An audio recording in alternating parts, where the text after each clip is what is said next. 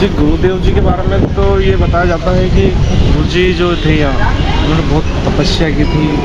और उनकी एक इच्छा थी कि देपालपुर नगरी में चौबीस अवतार मंदिर का स्थापना हो।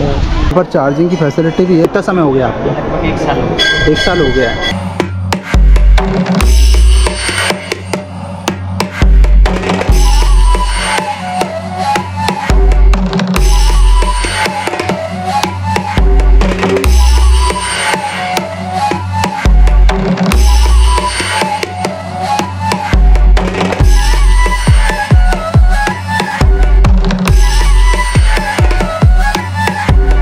जय श्री राम, प्यारे दोस्तों, एक बार फिर से स्वागत है आपका ज्योति प्रशांत ब्लॉग में। आज हम आपको लेके चल रहे हैं देवपालपुर स्थित 24 अवतार मंदिर में। मध्य प्रदेश का दिल इंदौर शहर घूमने के लिहाज से तो बहुत ही खूबसूरत है। यहाँ पर कई सारे ऐतिहासिक, धार्मिक और प्राकृतिक स्थल मौजूद है।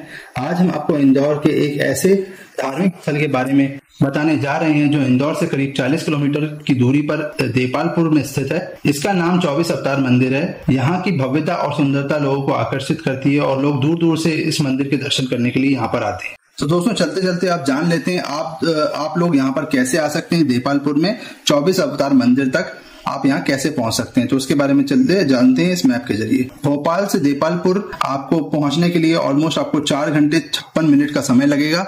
220 किलोमीटर की दूरी है, सियोर और सावेर के रास्ते से आप यहाँ तक पहुँच सकते हैं। और अगर आप इंदौर से देपालपुर आ रहे हैं तो यहाँ जाने के लिए आपको दो रास्ते मिलेंगे। एक बेटवा से होता हुआ जाता है जिसमें आपको एक घंटा सात मिनट का समय लगेगा और लगभग 48 किलोमीटर की दूरी आपको तय करनी पड़ेगी यहाँ आने के लिए। दूसरा रास्ता आपको हतौद से होकर जाता है जिसमें इकतालीस किलोमीटर का डिस्टेंस है टोटल और लगभग एक घंटा सात मिनट का समय आपको लगेगा। अगर आप उज्जैन से देलापुर आ रहे हैं तो यहाँ आपको आने के लिए तीन मार्ग मिलेंगे तीन रास्ते मिलेंगे। पहला मार्ग सावेर से होता हुआ जाता है, जहाँ आपको एक घंटे 26 मिनट का समय लगेगा और कुल दूरी आपको 59 किलोमीटर की रहेगी। दूसरा मार्ग तलौद से होकर जाता है, जिसमें आपको एक घंटे 29 मिनट का समय लगेगा और कुल दूरी 59 किलोमीटर की होगी। और तीसरा मार्ग चिकली नरसिंगा से होकर जाता है, जिसमें आपको एक घंटे 32 मिनट का समय लगेगा और कुल दूरी तिरसठ किलोमीटर की होगी।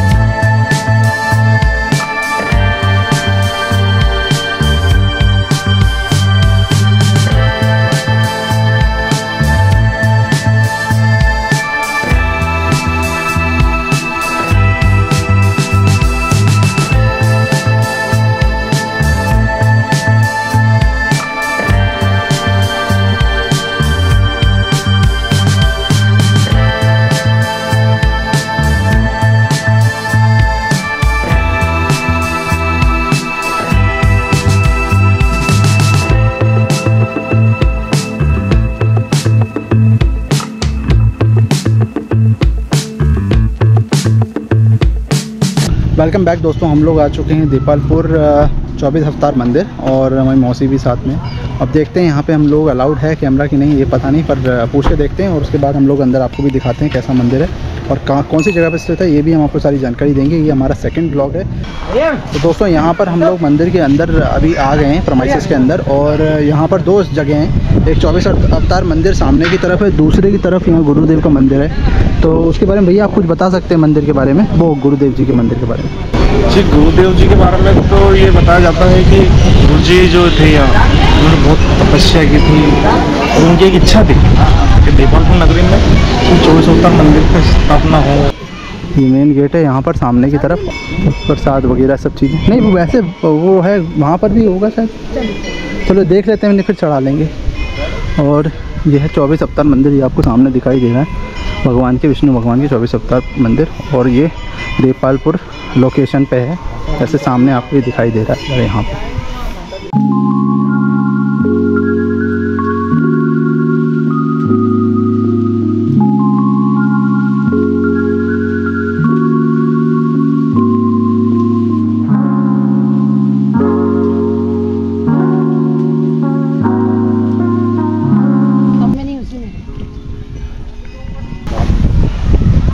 दोस्तों, यहाँ पे ये है, यहाँ के अंदर आने का रास्ता इस साइड से। और सामने की तरफ़ आप देख सकते हैं, वहाँ पे कंस्ट्रक्शन चल रहा है। और ये साइड हम लोगों ने भी हाथ वगैरह धो लिए हैं, वहाँ से एंट्री कर लिए और ऑफ़िस में हम लोगों ने परमिशन ले ली है। अब उसके बाद हम लोग यहाँ पर आपको दिखाने वाले हैं मंदिर और मोस्ट प्रोबेबली बाहर से दिखाएँगे। और यहाँ पर ये पानी वगैरह पीने की सुविधा है। सामने वाटर कूलर भी लगे हुए हैं एंट्री पॉइंट पर और ये ऑफ़िस है इस तरफ़। और यहाँ से आगे की तरफ़ बढ़ रहे हैं हम लोग।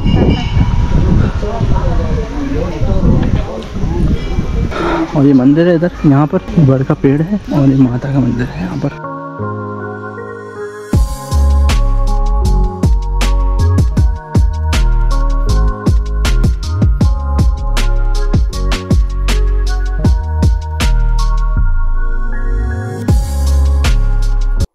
देपालपुर भगवान विष्णु के श्री चौबीस अवतार मंदिर का एक कस्बा है और भारत में मध्य प्रदेश राज्य के इंदौर ज़िले में एक नगर पंचायत है।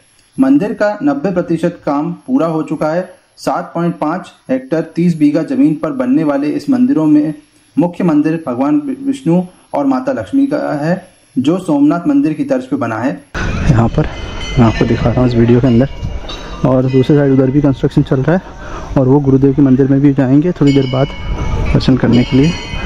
और ये यहाँ पे ये मंदिर इस मंदिर की ऊंचाई लगभग 121 फुट है। यहाँ पर सवा नौ फीट लंबी और सात फीट ऊँची भगवान विष्णु और माता लक्ष्मी की मूर्ति प्रतिष्ठित है। मंदिर का शिखर अष्ट धातु से निर्मित है। इसमें करीब पाँच किलो सोने का उपयोग किया गया है। बाकी अन्य मंदिरों की ऊंचाई बावन बावन फीट है। मुख्य मंदिर के शिखर पर सवा छह फीट का कलश और बाकी मंदिर पर सवा तीन तीन फीट के कलश स्थापित किए गए हैं। यहाँ 28 अप्रैल से 10 मई 2023 को प्राण प्रतिष्ठा महोत्सव हुआ था। साथ ही सौ कुंडीय विष्णु महायज्ञ भी हुआ था। मंदिर के दूसरे चरण में 11 रुद्र अवतार और माँ के नौ अवतारों का मंदिर भी बने, बनाया जाएगा। विष्णु लक्ष्मी मंदिर में नहीं किया गया है लोहे का उपयोग। भगवान विष्णु और माता लक्ष्मी का प्रमुख मंदिर आठ लाख ईंटों से बनाया गया है। इसमें कहीं भी लोहे का प्रयोग नहीं किया गया है। इसकी डिज़ाइन सोमनाथ मंदिर की तर्ज पर ली गई है। लंदन बुक ऑफ़ रिकॉर्ड्स व गोल्डन बुक ऑफ़ रिकॉर्ड्स द्वारा प्रमाणित इस मंदिर में एक ही नहीं, बल्कि कई खासियत है। यहाँ एमपी के बड़े बड़े नेता भी दर्शन करने आ चुके हैं। इंदौर के सांसद, इंदौर से सांसद व लोकसभा अध्यक्ष सुमित्रा महाजन, पूर्व सीएम शिवराज सिंह चौहान जी, भाजपा महासचिव कैलाश विजय वर्गीय जी यहाँ पर दर्शन करने आ चुके हैं। आगे इस मंदिर में पवित्र नर्मदा कुंड बनाया जाएगा। जिसका काम अभी चल रहा है, जो कि आकर्षण का एक और केंद्र बन जाएगा। तो दोस्तों, अब इसी के साथ हम लोग थोड़ी सी बात कर लेते हैं देपालपुर के इतिहास के बारे में। तो देपालपुर का इतिहास क्या है, अब इसके बारे में हम आपसे बात करते हैं। चक्रवर्ती सम्राट विक्रमादित्य के समय से परमार वंश ने 19वीं शताब्दी से 14वीं शताब्दी तक और उसके बाद परमार वंश के अनुसार पश्चिम मध्य भारत में मालवा निकटवर्तीय क्षेत्रों पर शासन किया था। देपालपुर शहर का नाम परमार वंश के शासक देवपाल जिनका शासन 1216 से 1240 ईस्वी तक रहा, उनके नाम पर रखा गया है। जैसे कि पता चलता है कि मंदिर का निर्माण 2015 नवंबर से चल रहा है। देपालपुर में गुरुदेव जयकरण दास, भक्तमाली परमहंस जी ने विष्णु महायज्ञ 1968 से लेके 1969 में करवाया था। उस समय इस मंदिर की नींव रखी गई थी। मेरे पीछे आप जो देख रहे हैं, मेन मंदिर है यहाँ पर। उसके बाद यहाँ पर दोनों साइडों पर मंदिर है, इस साइड पे भी मंदिर है। तो भगवान के चौबीस अवतार के मंदिर है, वो मैं आपको दिखा रहा हूँ इस वीडियो में। एक दो से चालू करेगा।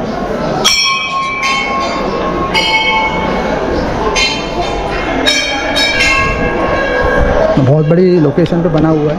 दोस्तों वीडियो ये जो जगह है बहुत बड़ी लोकेशन पे बना हुआ है। जहाँ पे आप सामने देख सकते हैं यहाँ पे बहुत बड़ा ये मार्बल का जगह बनी हुई। और ये कुरमा अवतार भगवान विष्णु का कुरमा अवतार।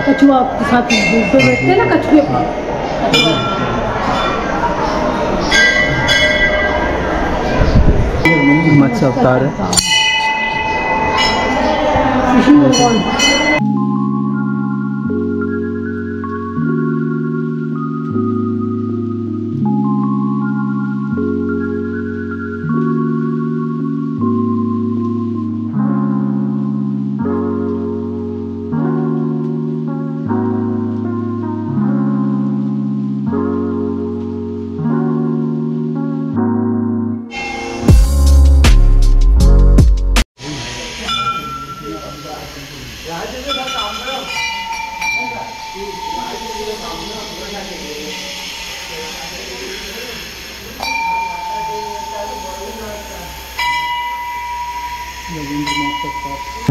पर भी कंस्ट्रक्शन हो रहा है इस साइड पे। और काम चालू है हम लोग यहाँ से एक राउंड लगा के आगे की तरफ़ बढ़ते हैं।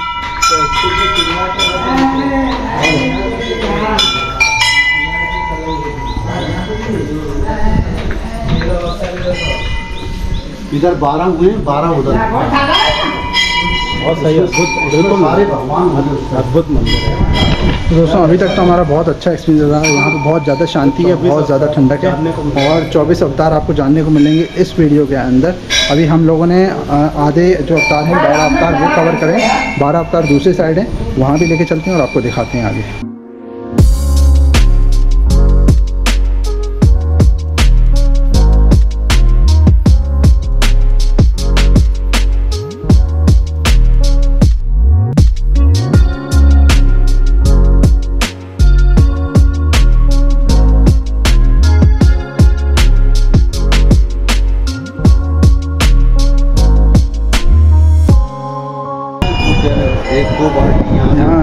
गौशाला वाली गाय है यहाँ पर। दोस्तों, यहाँ पर गाय बैठी हुई हैं और गौ सेवा से रिलेटेड जो दान पात्र है, वो ये भी दिया हुआ है और दूसरी तरफ़ इधर भी दिया हुआ है। अगर आप गौ सेवा करना चाहते हैं तो आप यहाँ पर दान भी दे सकते हैं और आ सकते हैं यहाँ पर।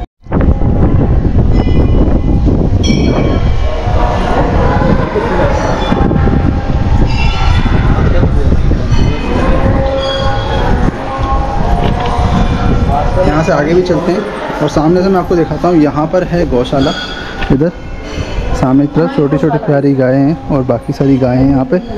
इनकी सेवा होती है और वो वहाँ पे सारी गायें हैं। ये ओपन एरिया है ये वाला इस तरह। और प्यारा सा बछड़ा है।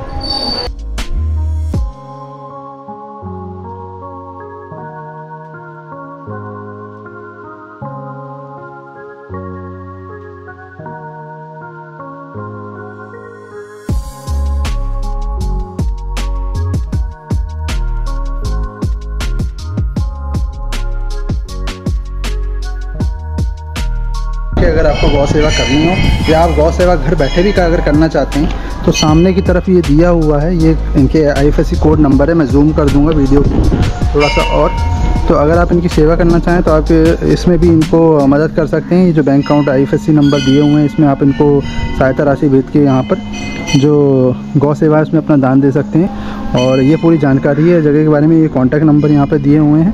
और अगर आप चाहें तो आप इन यहाँ पर आके कांटेक्ट भी कर सकते हैं, अगर आपकी कुछ, आप अगर इनकी सेवा करना चाहते हैं, मदद करना चाहते हैं तो ये गोदान पेटियाँ भी हैं। वो बहुत सारी गाय वहाँ पर हैं।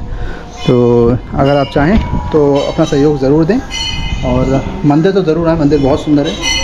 और हम लोगों ने यहाँ पे आपको आदि दर्शन तो करा दिए आदि दर्शन मैं आपको कराता हूँ। बस बने रहिए और देखते रहिए ज्योति प्रशांत ब्लॉग।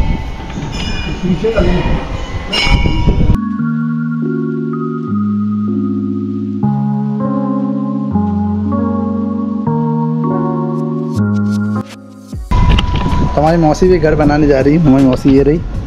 मौसी बना दो घर।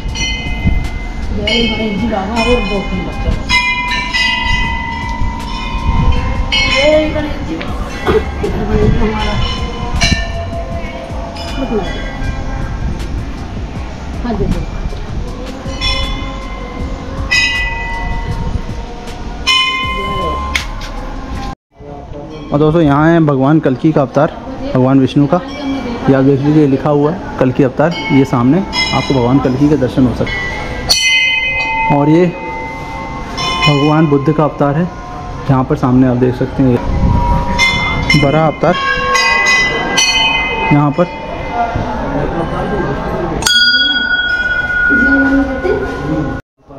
ये हैग्रीव का अवतार है। यहाँ पर सामने की तरफ़ देख सकते हैं। वेद की रक्षा के लिए उन्होंने अवतार लिया था, ये वाला। और यहाँ से आगे आगे बढ़ते हुए। ये टोटल नंबर 24 है और यहाँ पे नंबर घटते जा रहे हैं। ये नंबर 21 है अवतार का, भगवान का और ये।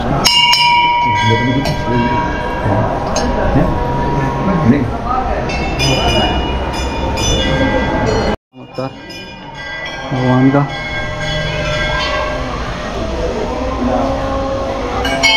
अवतार।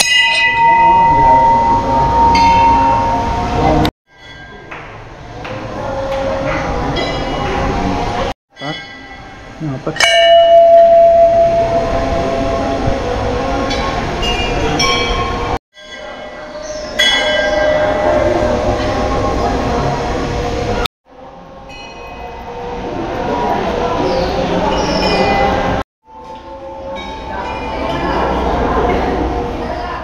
दोस्तों, यहाँ मैंने आपको सारे अवतारों के दर्शन करवा दिए हैं और यहाँ पर आपने देखा दोनों साइड में बाइफर्केट करा हुआ है मतलब दोनों मतलब जो अवतार मंदिर है उनको बांटा गया है। मेन जो मंदिर है, वो भगवान विष्णु और माता लक्ष्मी का मेन मंदिर है। उसके बाद एक साइड पे बारह मंदिर है और दूसरे साइड पे बारह मंदिर है। एक बारह मंदिर जो आपको टोटल मिलेंगे, बारह अवतार के, वो दूसरे साइड पे। और राइट साइड पे भी आपको बारह जो अवतार के मंदिर हैं, वो आपको दूसरे साइड पे मिलेंगे।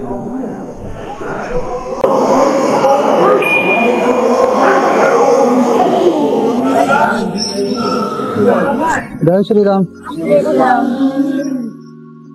आप लोग कब से यहाँ पे रहते हो? यहाँ पे आप रहते हो?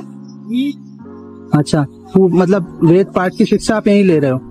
स्कूल वगैरह भी जाते हो आप लोग? स्कूल मतलब यहाँ गुरुकुल में पढ़ते हो आप लोग? अच्छा तो आप लोग कितना समय हो गया है यहाँ पर? अच्छा आप थोड़ा टाइम हो गया। कितना समय हो गया आपको? एक साल एक साल हो गया और जैसे उन्होंने बताया गुरुजी वगैरह सब यहीं पे आते हैं मतलब आपको शिक्षा और बारह से तीन बजे का समय रहता है? बारह से तीन का पढ़ने का समय। मंडे का समय है। तो उसमें आपको वेद वगैरह सबका जो अध्ययन होता है? कर्मकांड। अच्छा कर्मकांड के लिए। तो अगर जैसे आप लोगों को रुचि हो भागवत सीखने के लिए या फिर तो उसके लिए भी आप कर सकते हैं। अच्छा पहले शुरुआत में कर्मकांड। अच्छा ऐसा रहता है। और एडमिशन लेने का क्या प्रोसीजर है? अगर किसी को एडमिशन बच्चों को लेना हो उनके परिवार वालों को दिलवाने बार उनको आठ दिन के लिए अच्छा। पूछते हैं और उनको सिखाते हैं। तो जाते तो हैं। अच्छा तो कोई टेस्ट वगैरह भी होता है उनका? किस चीज़ का? अच्छा। हैं अच्छा अच्छा।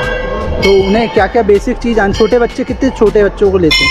पाँचवीं क्लास से ऊपर। हाँ पाँचवीं क्लास से ऊपर। हो तब वो थोड़ा आठ साल दस साल से ऊपर हैं हाँ हाँ मतलब फिर उससे ज़्यादा तो उससे कम तो संभाल ही नहीं पाएँगे।